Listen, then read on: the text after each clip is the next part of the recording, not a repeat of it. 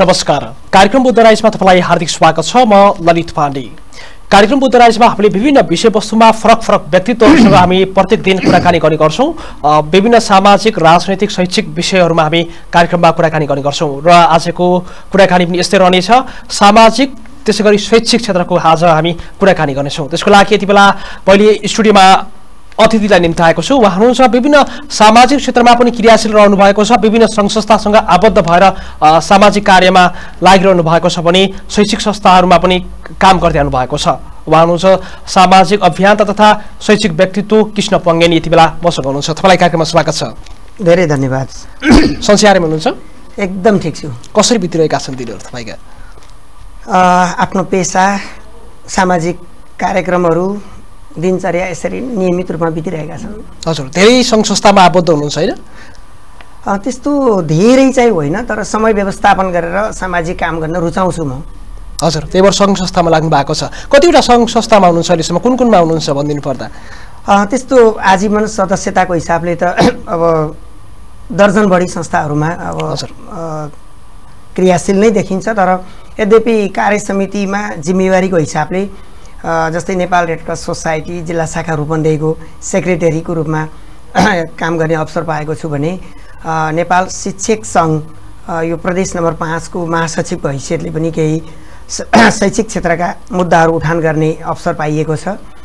मानव अधिकार तथा शान्ति समाजको केन्द्रीय सदस्यको रूपमा आफूले सामाजिक क्षेत्रमा मानव अधिकारका क्षेत्रमा केही कार्यक्रमहरूमा सहभागी हुने सहयोग गर्ने अवसर पनि प्राप्त भएको छ। त्यस्तै गरी मानव सेवा आश्रम सहयोगापेक्षी मानवहरूको व्यवस्थापनका लागि एउटा सहयोगीको भूमिकाको रूपमा सामाजिक क्षेत्रमा जे आइपर्छ ती अभियानहरूमा सक्रियतापूर्वक लाग्ने एउटा भाव चाहिँ रहन्छ नै। यसरी अब तपाईँ सामाजिक क्षेत्रमा सक्रिय भएर लाग्दाखेरिमा यी सङ्घ संस्थाहरूबाट होइन कसरी सुरुमा तपाईँलाई कहाँबाट आयो यो तपाईँले एउटा सामाजिक क्षेत्रमा लाग्नुपर्छ है भन्ने सोच कहाँबाट आयो तपाईँलाई? मेरो वास्तवमा बाल्यकाल पाल्पा जिल्लाको पूर्वी भेग निकै दुर्गम क्षेत्रमा बित्यो। मलाई सम्झना छ कक्षा सात पढ्दै गर्दा करिब ढाई घन्टाको समय अवधि हिँडेर कक्षा सात पढ्दै गर्दाका ती दिनहरू। तत्पश्चात पनि तराईमा आइसके पश्चात पनि जुन अभावमा जिन्दगी बित्यो जुन पीडामा आफ्नो बाल्यकाल र पारिवारिक जीवन बित्यो त्यसपछि त्यो भाव आफूले भोगेको दुःखलाई सम्झिँदै गर्दा अरूलाई पनि केही सेवा गर्नुपर्छ भन्ने त्यो भावना चाहिँ मनभित्रबाटै त्यसरी नै जागृत भएको अवस्था चाहिँ हो हजुर त्यही अभाव र त्यही पीडाले नै तपाईँलाई प्रोत्साहन दिएको हो यो सामाजिक क्षेत्रमा आउनुको लागि? त्यसरी भन्नु मिल्छ र सामाजिक अभियन्ताहरू समाजसेवामा लागेका व्यक्तिहरू जसले समाजका लागि परिवारका लागि राष्ट्रका लागि केही योगदान गरे तिनका प्रेरक भनाइहरू पुस्तकहरू यी कुराहरूले पनि थप प्रेरित गर्यो भने मैले वास्तवमा अन्तरात्मादेखि नै केही गर्नुपर्छ है। परिवार समाज राष्ट्रका लागि केही न केही गर्नुपर्छ है भन्ने त्यो भाव चाहिँ अन्तरात्मादेखि नै आएका कारणले यो सामाजिक क्षेत्रमा काम गर्न रुचि जाग्छ। हजुर कति वर्षको उमेरबाट नै तपाईँलाई यो रुचि जाग्न थाल्यो? भन्नाले तपाईँ पछिबाट बिस्तारै काम गर्दा गर्दा आयो कि रुचि? तपाईँलाई युवा अवस्थामा नै आयो कि कस्तो अवस्थामा आयो तपाईँलाई?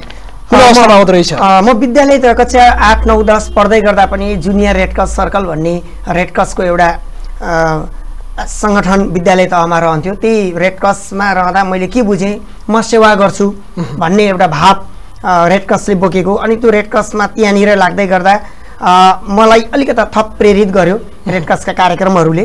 त्यसपछि रेउगाई भन्ने संस्थामा पनि सामाजिक क्षेत्रमा काम गर्ने सेवा गर्ने अवसरहरू अ, रेउगाई भन्ने संस्थाबाट पनि मैले केही आफ्नो व्यक्तित्व नेतृत्व विकास गर्ने अवसरहरू प्राप्त भयो।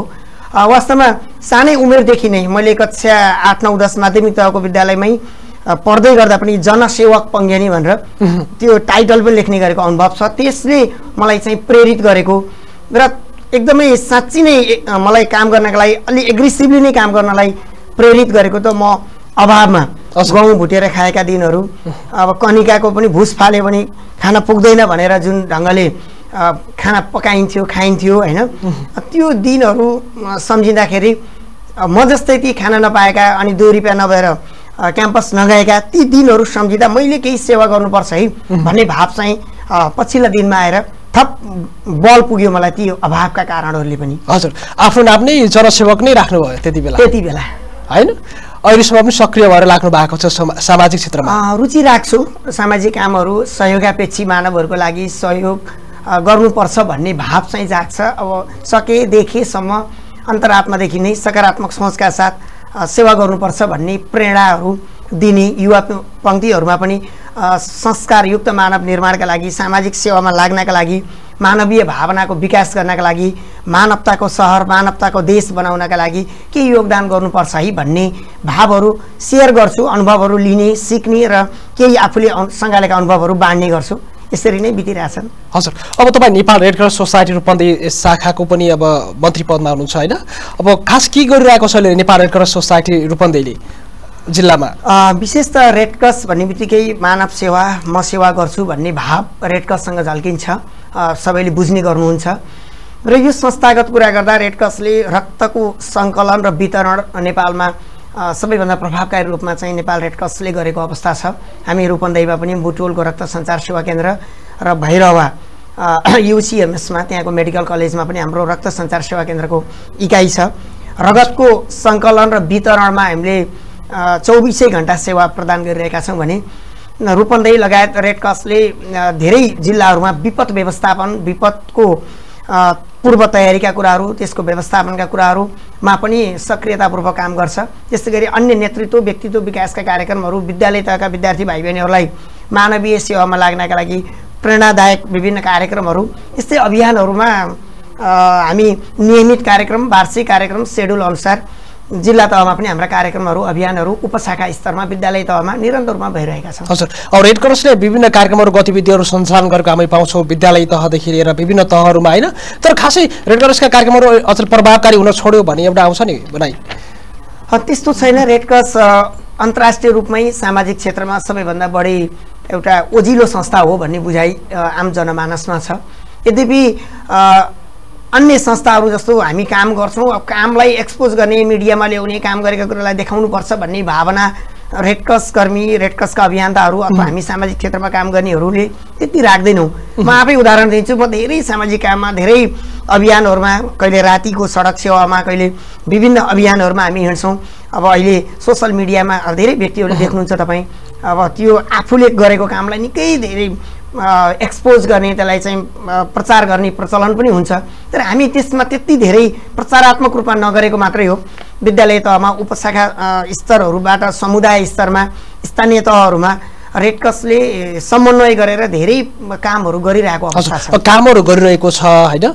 ठाउँ ठाउँमा न्यानो कपडाहरू पनि वितरण गरेको हामी देख्छौँ। अब तपाईँले यो आर्थिक रूपमा कसरी यसलाई सङ्कलन गर्नुहुन्छ? आर्थिक पैसा त चाहिन्छ नै। सामाजिक क्षेत्रमा काम गर्दाखेरिमा कसरी जुटाउनुहुन्छ? कहाँबाट आउँछ रेड क्रसको आम्दानी? के रहेको छ? विशेष त नेपाल रेड क्रसलाई अन्तर्राष्ट्रिय दात्री संस्थाहरूले पनि केही हदसम्म जस्तै अन्तर्राष्ट्रिय रेड क्रस अनि विभिन्न जस्तै Korean red cross Japanese red cross होइन विभिन्न विकसित मुलुकमा रहेका रेड क्रसहरूले नेपालको रेड क्रसका लागि सहयोग गर्ने र केन्द्रले जिल्ला स्तरमा पनि त्यस्ता राहत सामग्रीहरू पठाउने गरेको अनुभव छ भने हामीले स्थानीय तहमा अहिले त स्थानीय सरकारहरूले पनि रेड क्रससँग मिलेर काम गरौँ होइन राहत सामग्रीहरू अथवा अन्य न्यानो कपडा वितरणकै कुरा ल्याउनु भयो। यी कुराहरूमा पनि समन्वय गरेर सहयोगी भूमिका निर्वाह गरेर आर्थिक रूपमा पनि स्रोतहरू स्थानीय तहले अन्य सरकारी निकायहरू अन्य गैर सरकारी सर संस्थाहरूसँग पनि समन्वय गरेर हामीले हाम्रा कार्यक्रमहरूलाई प्रभावकारी रूपमा अगाडि बढाएका हजुर। अब अहिले स्थानीय तहले पनि रूपन्देही जिल्लामा हेऱ्यो भने रेड क्रसलाई एउटा विपद व्यवस्थापनको पाटोमा पनि राखेर काम गरिरहेको अवस्था रहेको छ। विभिन्न समितिहरू उपसमितिहरू बनाएर। कस्तो छ रूपन्देही जिल्लामा विपद व्यवस्थापनको लागि तयारी? कस्तो तपाईँले? ठिक छ। स्थानीय तहको? एकदमै राम्रो कुरा गर्नुभयो। अहिले स्थानीय तहको एउटा नीति नै के छ भने रेड क्रसको पनि प्रतिनिधित्व हुने गरी स्थानीय विपद व्यवस्थापनको त्यो एउटा समिति पनि बनेको छ र विपद व्यवस्थापनको पूर्व तयारीदेखि लिएर विपदका लागि काम गर्नका लागि स्थानीय तहले रेड क्रससँग समन्वय गरेको अवस्था छ र हामीले पनि लगभग धेरै जसो स्थानीय तहहरूमा हाम्रो उपशाखाहरूलाई सक्रिय बनाएर स्थानीय तहमा समन्वय गरेर काम गर्नका लागि प्रेरित गरिरहेका छौँ। समन्वय गरेर काम गरिरहेको अवस्था छ यति बेला। हजुर। ठिक छ। रेड क्रसलाई यही छोडौँ। तपाईँ अब मानव अधिकार तथा शान्ति समाजको केन्द्रीय सदस्य पनि हुनुहुन्छ होइन? के गरिरहेको छ अहिले मानव अधिकार तथा शान्ति समाजले? यसको बारेमा पनि बताइदिनुहोस् एकदमै अहिले तत्काल कुरा गर्दा हिजो नै अस्ति मात्र तानसेन पाल्पाको तानसेनमा मानव अधिकार तथा शान्ति समाजको केन्द्रीय समितिको बैठक पनि थियो।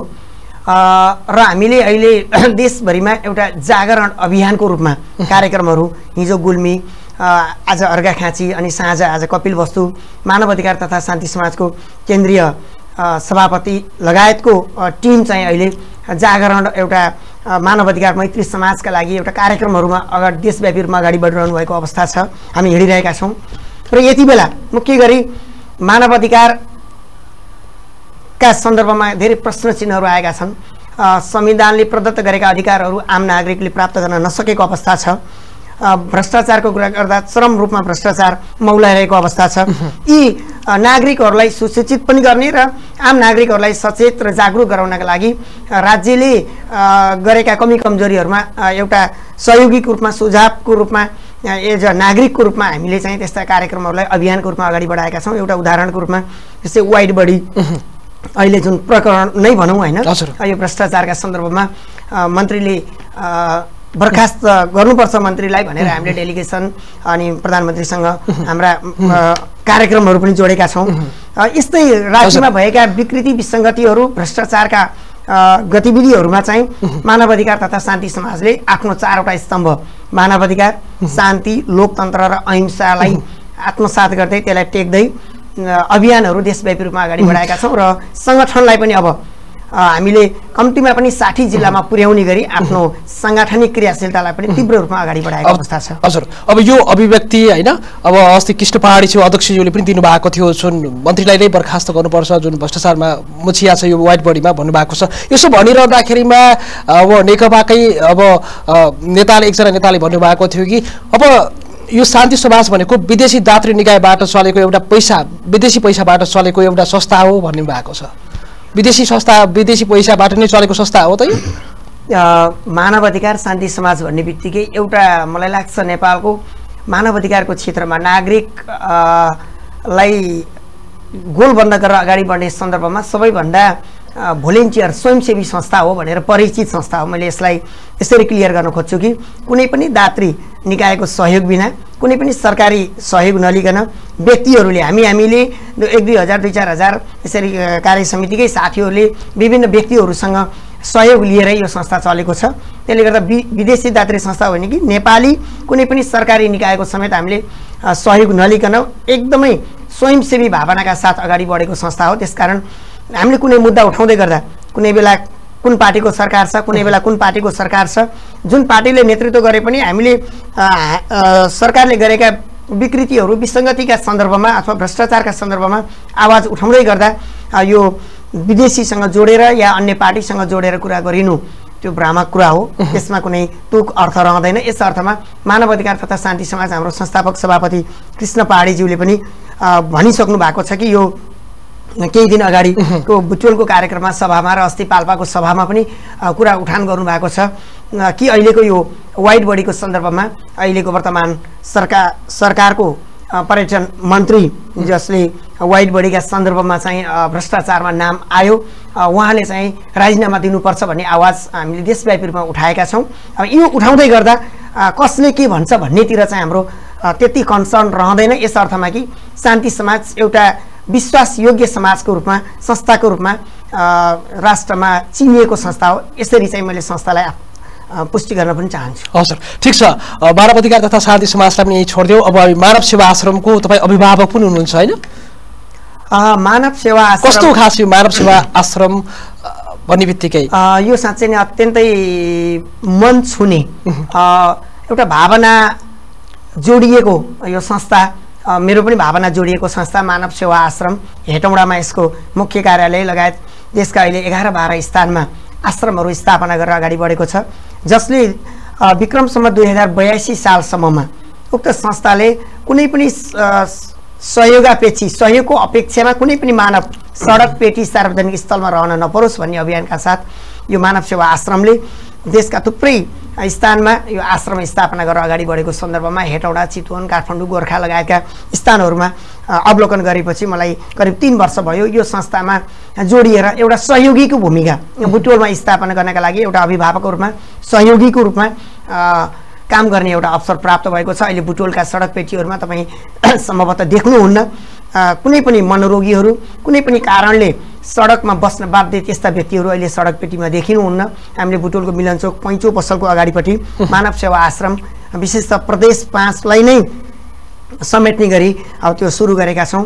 यो आश्रमका अभियन्ताहरू अनि त्यसमा लाग्ने युवाहरू पूर्ण रूपमा चाहिँ स्वयंसेवी भावनाका साथ लाग्नु भएको छ। त्यो सेवा गर्नुभएको छ। ती लक्ष्मीनारायणहरू ती आमा बुवा दाजुभाइ जो आउनु भएको छ मनोरोगी हुनुहुन्छ कोही प्रेग्नेन्ट भएर आउनु भएको छ सडकमै कोही खुट्टा कुहिएको एकदमै किरा परेका ती अत्यन्तै दर्दनाक अवस्थामा आएका ती व्यक्तिहरूको सेवा ती युवाले भोलिन्टियर रूपमा काम गर्दै गर्दा हामी पनि सहयोगी बन्नुपर्छ भनेर एज अ सहयोगीको रूपमा अभिभावकको रूपमा सेवा गर्ने सहयोग गर्ने थोरै हदसम्म योगदान गर्ने अवसर प्राप्त भएको छ।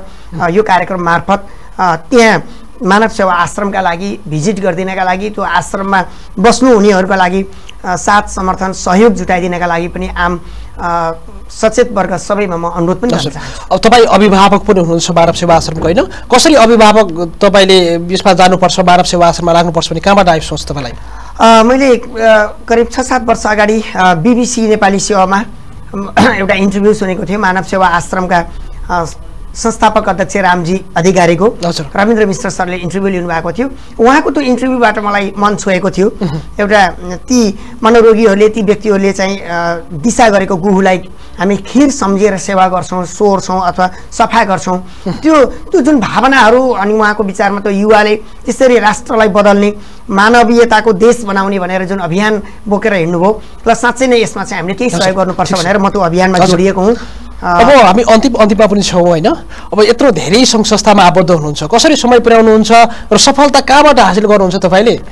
समय वास्तवमा व्यवस्थापन गर्ने कुरा रहेछ। अब केही दिन अगाडि केही महिना अगाडिदेखि नै कुन दिन के कार्यक्रम छ त्यसलाई सेड्युलमा राखेर समय व्यवस्थापन गरेर व्यस्त समयलाई मिलाएर अगाडि बढ्यो भने अस्तव्यस्त ढङ्गले हिँडिएन भने काम गर्न त्यति गाह्रो हुँदैन। त्यति धेरै संस्थाको कुरा पनि होइन। भावना ठुलो कुरा हो। सेवा भाव मानवीयताका कुराहरू मानव सेवाका कुराहरू अथवा सहयोगका कुराहरूमा मनले छोयो अथवा मनभित्रबाट त्यो भावहरू जागृत भयो भने स्वाभाविक रूपमा समय व्यवस्थापन अब रहेछ। धेरै सङ्घ संस्थामा आबद्ध भइरहँदाखेरिमा अब एउटैकामा अथवा सफलता कहाँबाट प्राप्त गर्नुहुन्छ? तपाईँले कसरी प्राप्त गर्नुहुन्छ? मैले सफलताका लागि अथवा नाम कमाउनका लागि भनेर हिँडिएको छैन। मलाई लाग्छ तपाईँले भन्नुभयो चाहिँ कुनै एउटा फिल्डमा मात्रै लागेको भए राष्ट्रिय अन्तर्राष्ट्रिय रूपमा त्यही फिल्डबाट मात्रै अझ बढी चर्चाको उहाँ पुगिन्थ्यो होला। मलाई चर्चाका लागि काम गरिएको होइन। काम गर्ने हो। कुन संस्थाबाट मानवीय सेवाका लागि अलि बढी सहयोग गर्न सकिन्छ भन्ने सन्दर्भमा संस्थागत रूपमा व्यक्तिगत रूपमा नदेखिने गरी व्यक्तिगत रूपमा हामी रात दिन चौबिसै घन्टा पनि सेवा सहयोग गरिरहेका छौँ। त्यस अर्थमा समय व्यवस्थापन गरेर अगाडि बढ्न सकियो र एउटा संस्कारयुक्त मानव निर्माण गर्नका लागि समाज परिवर्तनका लागि सकारात्मक सोचका भावनाका साथ अगाडि बढ्यौँ भने काम गर्न गाह्रो। छैन म विशेष त युवा पिँढीहरूलाई यो आह्वान र अनुरोध पनि गर्न चाहन्छु हस् हामी अन्तिममा छौँ के भन्न चाहनुहुन्छ धन्यवाद कार्यक्रममा उपस्थित हुने विशेष गरी अब यो मानवीयताको प्रदेश देश बनाउने सन्दर्भमा मानव सेवामा लाग्नका लागि सबै सचेत नागरिकहरू युवा पिँढीहरू सबैका लागि केही भावनाहरू साट्ने अवसर टेलिभिजनले प्राप्त गर्यो। टेलिभिजन परिवार तपाईँ कार्यक्रम प्रस्तुता लगायत सबैलाई हार्दिक शुभभावना पनि दिन चाहन्छु। उपस्थित हुने मौकाका लागि आभार पनि प्रकट गर्छु। धन्यवाद। यति बेलासम्म कार्यक्रम बुद्ध राइसमा रहेर हामीले सामाजिक तथा शैक्षिक व्यक्तित्व कृष्ण पङ्गेनीसँग कुराकानी गऱ्यौँ। आजको कार्यक्रमबाट यति बेलासम्मको लागि प्रविधिबाट सहयोग पुर्याउने नरेश अधिकारीलाई धन्यवाद दिँदै म ललित पाण्डे पनि विदा माग्छु। नमस्कार।